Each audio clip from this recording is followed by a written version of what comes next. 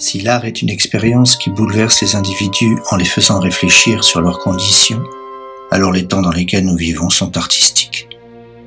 Bonjour à toutes et à tous. J'ai voulu commencer cet échange par des mots de Genio Barba, cofondateur de l'Odine Théâtre.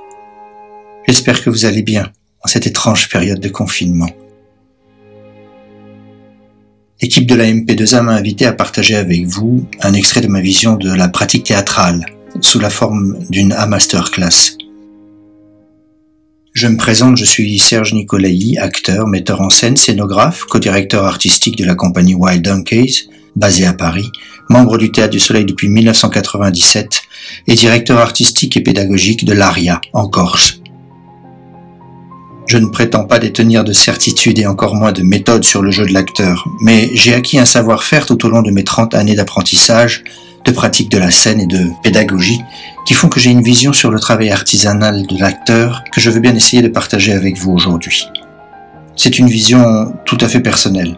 C'est une parmi beaucoup d'autres qui, à l'heure où je vous parle, a une consistance qui sûrement évoluera encore, riche de mes prochaines expériences au plateau. Je remets toujours en chantier cette recherche que je mène et qui m'intéresse au plus haut point dans mon travail, le comment du pourquoi de cet art infiniment passionnant et complexe qu'est le jeu de l'acteur. Si nous devions travailler ensemble, car il s'agit bien de travail, j'essaierai de vous faire toucher quelques outils essentiels de l'acteur, comme par exemple savoir écouter, utiliser son corps pour parler, être au présent, passer par la transposition pour échapper au réalisme, et bien d'autres encore. Pour cela, nous commencerions par des exercices d'improvisation, de l'improvisation en muet, mais vous ne seriez pas seul. Vous partageriez le plateau avec un partenaire exceptionnel. La musique. Voici quelques mots d'Hélène Sixou, écrivaine et dramaturge du Théâtre du Soleil, à propos de la présence de la musique au plateau. Elle n'accompagne pas, elle n'illustre pas, elle ne décore pas, elle est la voix qui dit au personnage qui erre dans le théâtre. Je t'écoute. Quand tu perds la raison, quand affolé d'angoisse ou de douleur, tu ne trouves plus tes mots, je t'entends. Quand tu cries de colère, je transforme tes grincements rauques en tempête majestueuse. L'improvisation commence presque toujours par des images, une vision, un état, et pour cela, la musique est un cadeau. Nous allons faire un essai. Vous fermerez les yeux dès les premières notes que vous allez entendre et noterez la première image qui vous vient de cette écoute. Puis ouvrez les yeux, voyez comment cette image évolue et faites alors un premier geste. Mimez une première action, celle qui vous viendra spontanément liée à cette première vision. On y va?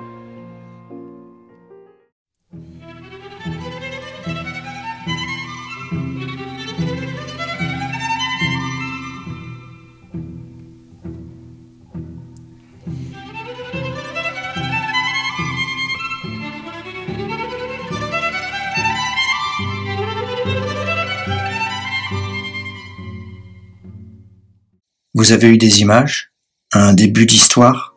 C'est un point de départ. Et de là, vous pourriez, moment après moment, commencer à entrer dans une improvisation, construire progressivement et émotionnellement une histoire et un personnage. On essaie avec une autre, allez, et on voit la différence.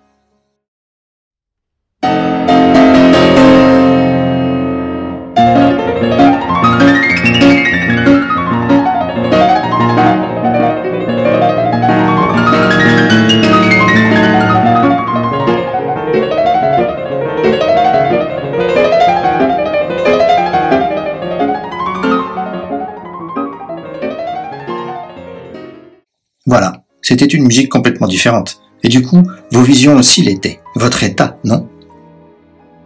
Comme je vous l'ai dit, nous parlerions d'improvisation muette.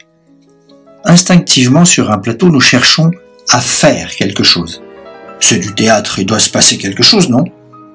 Erreur. C'est parce qu'on se sent dépassé qu'on panique et qu'il faudrait absolument se sortir de cette situation affreuse dans laquelle on est et qui nous fait sentir vulnérables, exposés, démunis, la peur du vide, comblée. Nous devenons au contraire aveugles, sourds, maladroits, empotés, plutôt que d'être inventifs, créatifs. Les mots, surtout en improvisation, arrivent les premiers. C'est la première béquille face à la difficulté, celle qu'on maîtrise le mieux.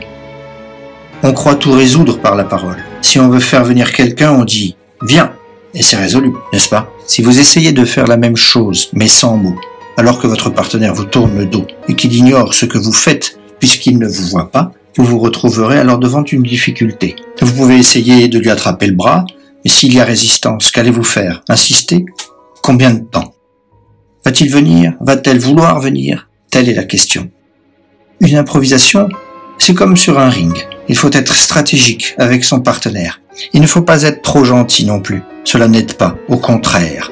Improviser, jouer, c'est une joute. Douce, certes, mais c'est tout de même une sorte de petit combat stratégique que vous menez pour arriver à votre objectif. Enfin, je veux dire, l'objectif de votre personnage. Il faut oser affronter le rien et écouter. Osez vous faire confiance. Vous avez assez de matière, même si vous êtes débutant. Faire confiance à votre imagination. Osez laisser venir. Avancez fragilement, moment après moment. Si vous croyez à votre histoire, quelque chose va arriver, c'est sûr. Il faut être patient et attendre la petite flamme qui va allumer votre mèche et vous faire démarrer. Ce n'est évidemment pas une attente passive, c'est une manière de parler.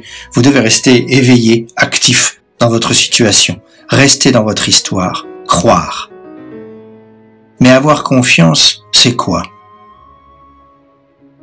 Peut-être être capable d'écouter les nouvelles qui nous viennent de l'intérieur et de s'en servir. Suivre son instinct sans le juger, sans en douter. Dire que ce que je ressens là, maintenant, c'est juste. Le jugement sur un plateau, c'est notre pire ennemi, qu'il vienne de l'autre ou de nous. Le jugement, c'est un regard faux, critique, non productif et trompeur. Il faut débrancher la petite caméra de surveillance qu'on a accrochée au-dessus de notre tête et qui nous renvoie de fausses informations. Nous ne sommes pas en mesure de nous juger sur scène. Ce n'est pas notre rôle. Laissons ça aux metteurs en scène.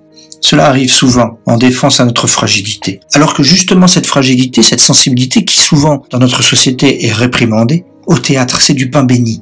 C'est l'essence du travail, pour ne pas parler de sa réussite. Nos outils, à nous, acteurs et actrices, c'est l'émotion, la sensibilité, la fragilité. Nous travaillons avec l'impalpable. Il faut savoir retrouver son état d'enfant pour pouvoir jouer. Un enfant ne doutera jamais que le bout de bâton qu'il tient à pleine main n'est pas l'excalibur qu'il vient de tirer du rocher sacré, que la poupée qui s'endort dans ses bras n'est pas sa propre petite fille. Sur un plateau de théâtre, c'est pareil. Sans cette donnée essentielle qu'est la crédulité, il ne peut y avoir de théâtre. C'est un peu contradictoire, n'est-ce pas? Le théâtre est le royaume de l'illusion, de ce qui n'existe pas réellement, et pourtant, il est fait du vrai. Un acteur ou une actrice ne peut pas mentir. S'il ment, il triche. S'il triche, alors ça se voit. Et le public n'est pas dû. Il n'y croira pas. Pourtant, j'aurais tendance à dire qu'un acteur, une actrice, c'est avant tout un vrai menteur, c'est-à-dire celui ou celle qui est convaincu que son mensonge est la vérité, et qu'il ou qu'elle, ainsi, réussit à faire croire aux autres que ce qu'il avance est vrai. Dans La tempête de Shakespeare, le personnage de Prospero dit ⁇ Pour éliminer la distance entre le personnage joué et celui qui le joue, il faut jouer à vraiment l'être. Quand on s'est attribué un rôle parce qu'on a envie de le travailler, ou qu'on nous a distribué dans celui-ci, alors nous devenons le personnage, c'est comme ça, avec notre physique, notre voix, notre cœur, notre cervelle, notre sensibilité. Si on joue un personnage, c'est nous le personnage. C'est alors lui qui se met à penser comme nous. Nous, nous ne pouvons penser comme lui. Nous n'avons pas assez d'informations sur lui.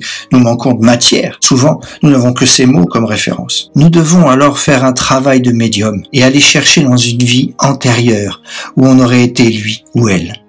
Si vous devez jouer Juliette et que votre Roméo vous agace à vouloir partir si tôt au son de l'alouette et que vous avez envie de lui taper sur la tête pour le retenir, c'est écrit nulle part ça. Mais vous aurez le droit de le faire. Et puis ben, nous verrons bien comment résonnent les mots qui suivent.